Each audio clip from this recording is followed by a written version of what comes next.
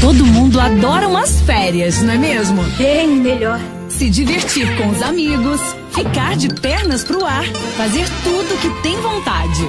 Mas tá na hora de voltar a estudar. Você acha? Mas não vai sem graça. Que nada!